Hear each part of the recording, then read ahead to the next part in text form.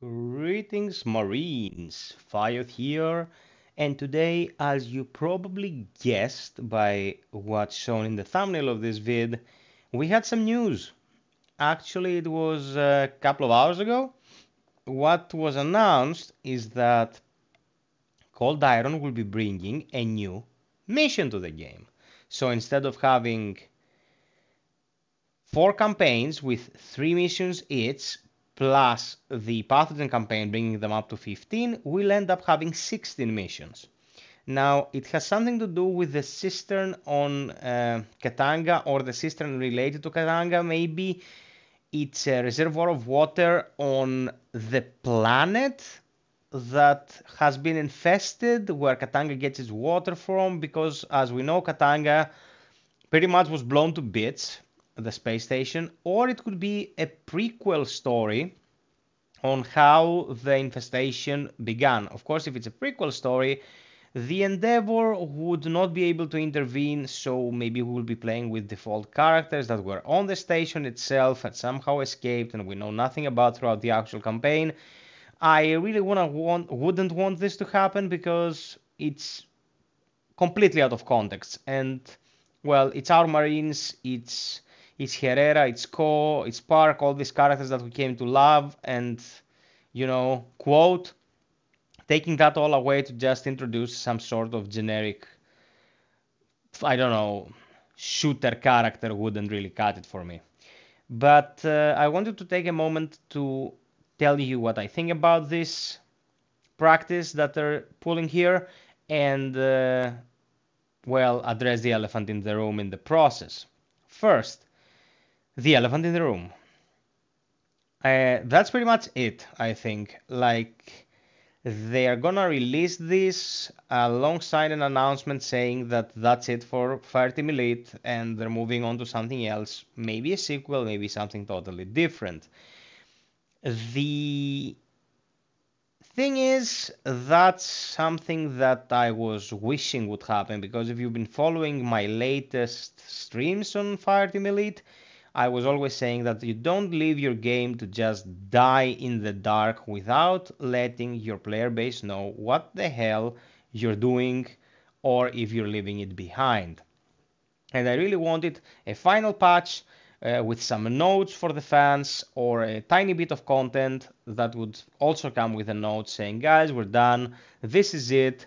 We have done all that's possible with our budget, we've done all that's possible with our funds, and uh, then we have to move on to something else that can make an actual profit. Okay, so I think that after this, we're pretty much uh, done with Fireteam Elite. We're not gonna get a new roadmap, we're not gonna get a new year, we're not gonna get anything as grandiose because they cannot make a return on investment. That is something to be understood. Now, the second issue I want to talk about. The game at this point hasn't been patched for more than a month and a half. No hotfixes, no patches, nothing.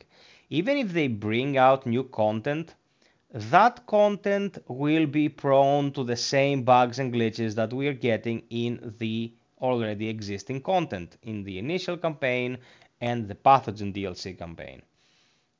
So my hope about all this is that they bring out a bit of content and the huge ass patch that they've been working on for the past weeks. And uh, alongside that, there will be a statement saying we took our time to present a fix that actually addresses a lot of stuff instead of bringing out all those little patches and along with it you're getting a new mission to play as a farewell to the game. That for me would bring the standing of the company 80% back.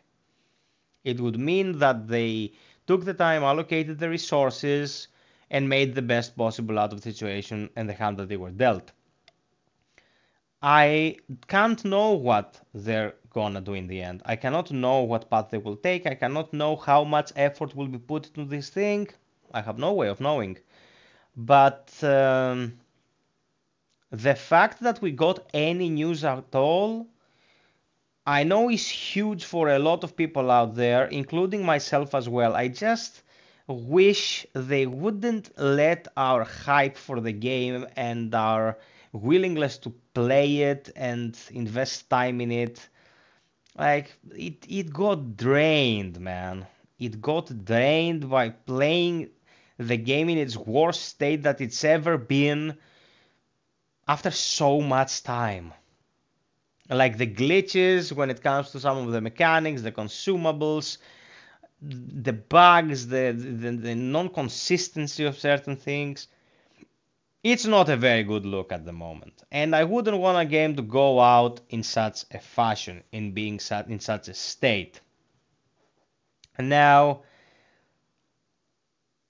if what they bring is good, and uh, they also fix what's already here and it's problematic, I'll have zero beef with Cold Iron, except for all the marketing and not communicating bullshit that they were never good at anyway. It wasn't something that changed and diminished my opinion of them. They were always bad at doing that. They couldn't take the hit from the whiners that can get really, really annoying and toxic, so they cut ties with communicating with pretty much everyone out there.